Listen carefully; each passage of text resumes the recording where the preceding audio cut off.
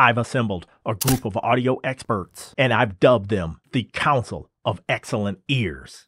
That group, along with me and you, are going to help determine what's the best budget dynamic microphone under $50. And I've picked the four most positively reviewed dynamic microphones under $50.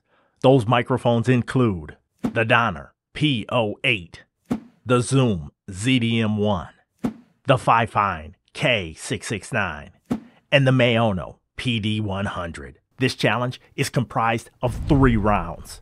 Round one, the Council of Excellent Ears will cast their votes, ranking each of the microphones from first to fourth, with a first place selection giving the microphone four points, a second place finish giving it three, a third place giving it two, and a fourth place finish giving it one point. The microphone with the most points wins.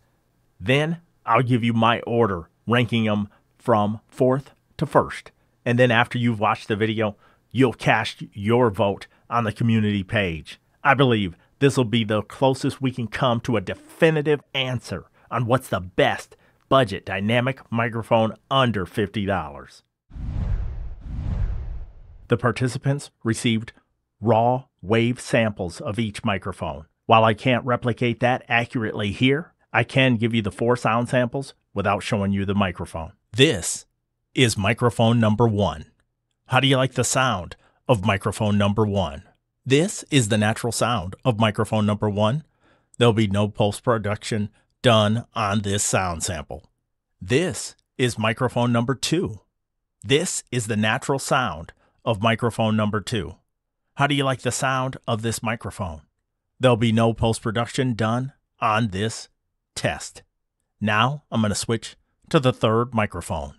This is microphone number three. How do you like the sound of microphone number three? This is the natural sound of the microphone. No post production will be performed on this sound sample. This is microphone number three. And here's how it sounds. Here's microphone number four. This is the natural sound of microphone number four. How do you like the sound of the microphone? There'll be no post production done to this sound sample. How does it stack up to the first three microphones? This is microphone number four. That was the sampling. Now I'll reveal which microphone was which. Microphone number one is the Fifine K 669D. Microphone number two is the Donner PO-8. Microphone number three is the Maono PD100. And microphone number four is the Zoom ZDM1.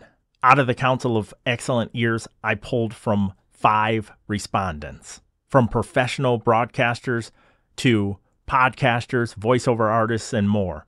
Here were their findings. The first respondent had the microphones listed in this order. I'll go from fourth to first.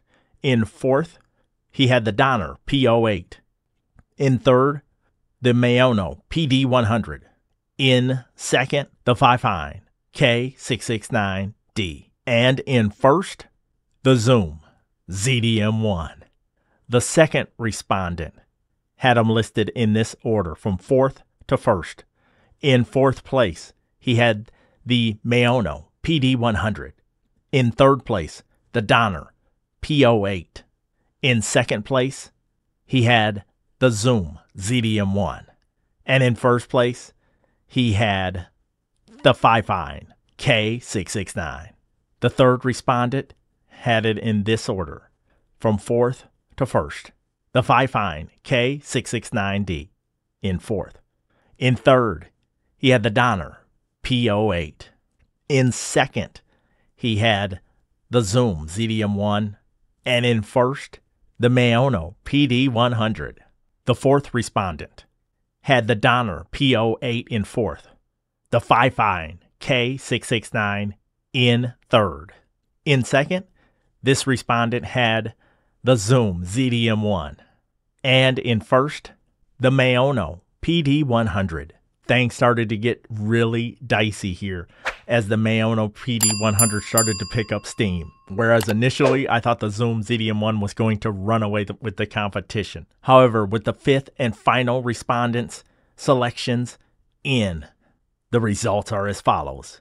In fourth, this person had the Fifine K669. In third, this respondent had the Maono PD100.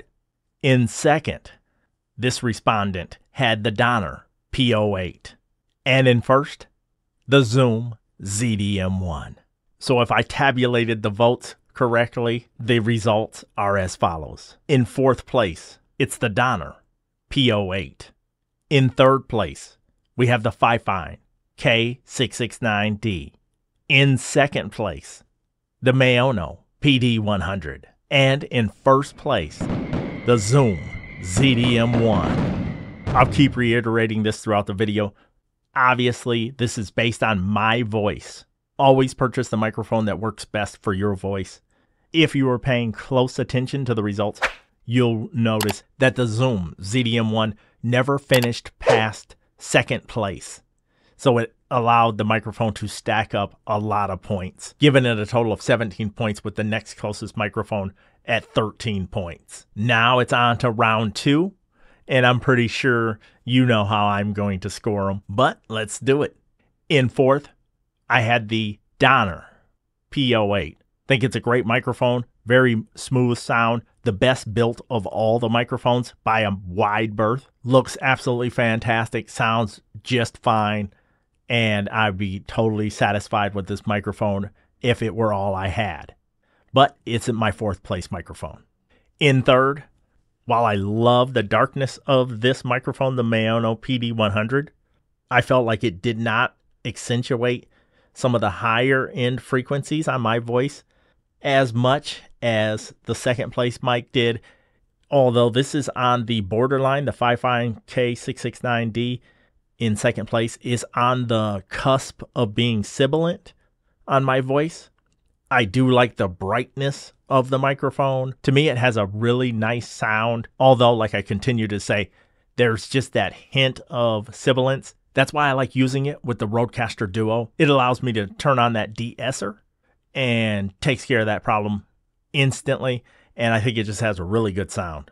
37 bucks, it's an amazing value. However, on my voice, I truly believe that the Zoom ZDM1 sounds the best to me. It's a smooth sound. There's not any shrillness. It's not too boxy or t- like I'm talking into the, a bucket or anything. It has a nice balanced sound on my voice and for 50 bucks, I think it is a phenomenal value as well. I'll reiterate that all of these microphones are fantastic, especially for their prices. You couldn't go wrong with any of these. I would recommend all of these microphones in a second if somebody asked me my take on any of the four. They're all great microphones.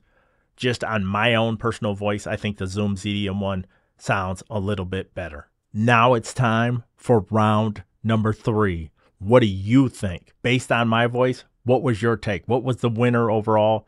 You can vote on the community page right now. Just head to my home page on YouTube and click that community tab.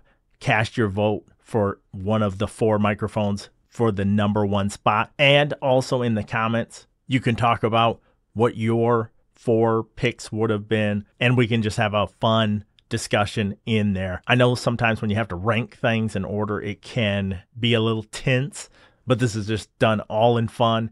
And this was the closest I think I could come to having a truly fair competition. However, there's always room for improvement. A microphone really isn't much without a good audio interface. Check out the video on the screen now to see how I help people pick a good audio interface for their needs. So check that video out. I hope you enjoyed this fun competition. I'll talk to you in the comments. And as always, thank you.